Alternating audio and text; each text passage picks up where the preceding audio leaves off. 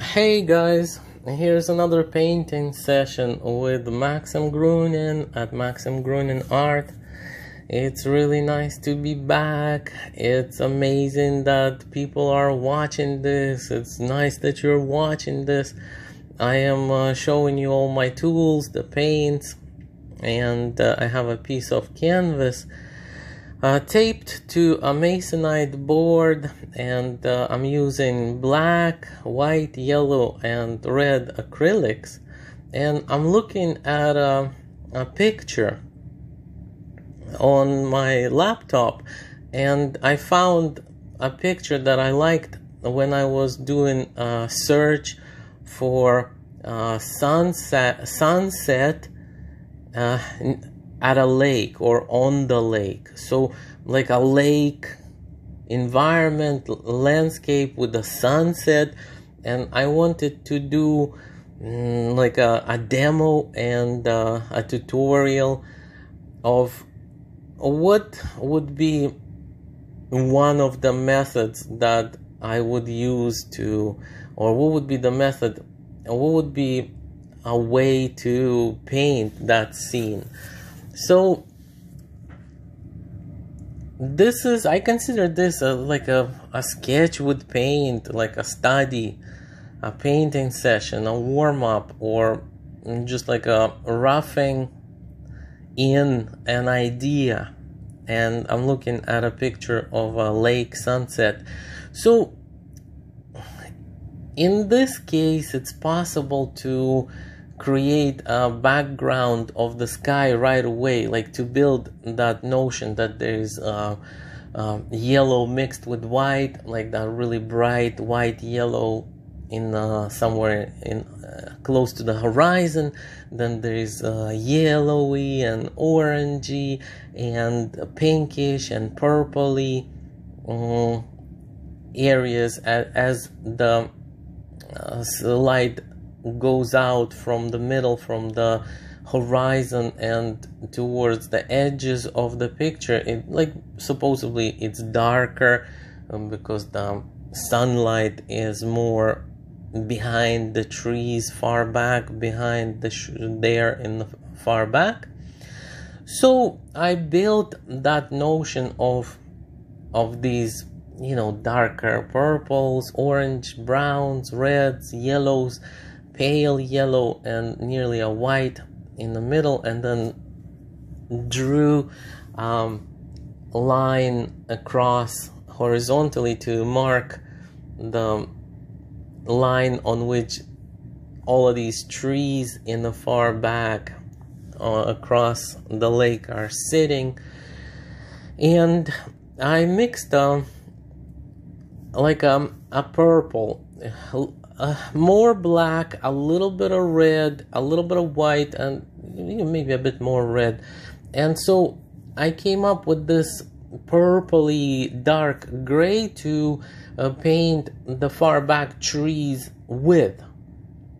And I didn't want them to be just black. There is going to be another area that's closer, so I wanted a bit more neutral like not fully black, not full contrast.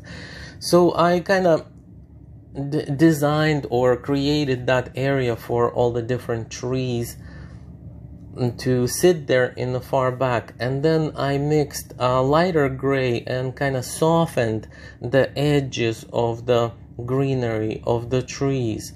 I softened these edges and then I painted in uh, a bit more of that bright light with white and yellow in it and connected the sky to the trees in a kind of a softer um, more integrated way. So it doesn't appear like a paper cutout because um, the reason to soften the edge is um, purely observational, purely uh, in a sense of how nature appears to human eye. If we just look at anything anywhere around us, and especially further away, if we look at the trees or any kind of natural phenomena, even buildings, anything.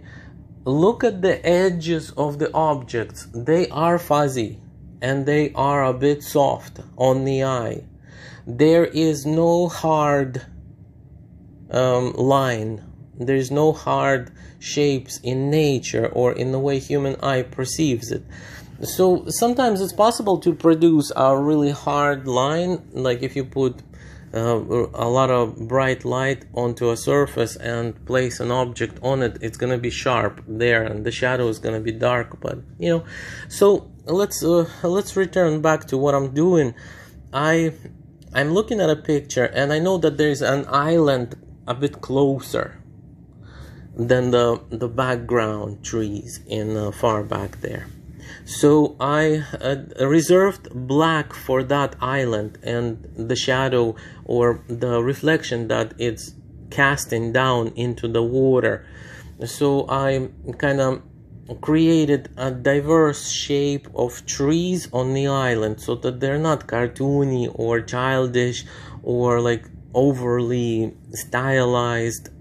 I kind of mm, re-envisioned, like I translated from the photographic image that I'm looking at into painted shapes and I gave them like a bit of an expressive, a bit of a diversity. So, you know, really carefully kind of designed the shapes. Then I dropped uh, that dark down towards the lake surface and then I went in into that reflection with other midtones that are found you know all around like the the brown red came in and the squiggly kind of z kind of s shapes that went down. I cut into the black reflection. I mm, swirled down. I took um lighter brown like the yellowy ochre one and i swirled on the edge of that cluster of black that i painted under the island. So I worked into that area to with these squiggly kind of horizontals like I could you know like kind of a S shape or a squiggle or a Z. So it's almost like a calligraphy, you know, kind of dropping these these S's or these Z's down onto the surface and then kind of breaking them up. So, you know, I had like a gray there. Then I went in with a lighter yellow kind of ochre, and then that covered all of the gray. So I'm building some of the gray back, but I am giving the brush strokes more of a horizontal kind of squiggly characteristic when it is on the surface of the water. This is because I am like you know looking at the picture of the water or like I like going near natural bodies of water. And then when you look at the characteristics within the reflection, like the water sometimes it could be still, but sometimes it moves ever slightly or you know just like just a tiny bit. And already things are like woo, they're like um, starting to um, dance in these uh, wiggly ways down into reflecting in the water. So that's pretty much you know like i'm including that kind of mode of using like i'm taking the paint and i'm painting but i'm also sometimes shaping the strokes and how they blend into these kind of horizontal squiggly shapes. And it, it, takes a little experience and a little knack and you you will quickly gain it. Like you know try to do an exercise like this and then follow up with um, uh, you know another few of very similar like choose a landscape of a lake sunset and try one or even do this one that I'm doing and then uh, use what you've learned from that experience to construct craft another painting of of your own choosing, or the subject being of your own choosing. So, um, water is quite reflective and i'm taking the colors from you know what's what what is reflecting in the water? The trees the, uh, and there are these darker shapes and then they're squiggled like to move around with the water. But uh, uh, like what are the colors? Those are the sky. The colors taken from the sky are reflecting down um, into the water and you know they are giving me the clue to what the color would be so i'm taking um, like maybe the rusty orange. I'm taking these purple grays. I'm taking even some highlights to some of the areas there. And I am building little by little, little by little, I'm building this layer up until there is um until there is a a satisfying feeling that oh look you know i'm starting to see this island with these trees and the reflection of this island in the water. And i'm kind of liking how the background is faded and uh, lighter and it's further away. And uh, you know what else can i add? What else can i do and then little by little you'll get to a point where the painting your study is balanced enough that it stands like alone. It it can say this picture is telling me that it's quite lovely and it's getting there and it uh, like now i can just enjoy looking at it and photograph it and uh, share it with friends or you know so it's complete. It's complete. At some point it's uh it's like cooking a meal and you know if the same chicken or the same veggies that are not cooked you know they taste different like especially the meat like you don't want that meat when it's raw.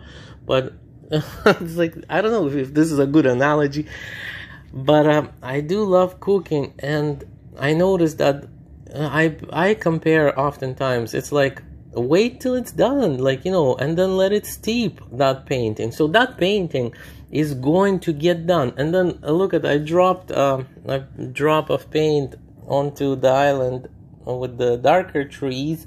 And then I lifted the paint with a palette knife and quickly marked mm, you know the black right back.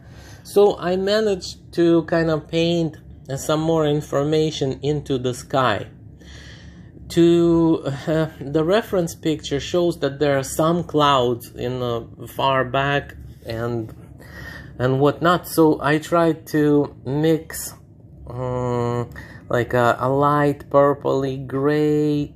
I mixed a bit of redder, a bit of red into it, made it more red. I softened the edges of all of the objects. I introduced a bit more highlight within the sky. I introduced more colorful information within the water down below because you know if there is a gray appearing in the sky then some of it will reflect in the water. And then the painting pretty much became complete and uh, I can even crop it like this. And I can I can stretch this piece of canvas over a little a stretcher or a piece of wood and turn it into a painting. And that's our painting session today. Thanks for joining me, guys.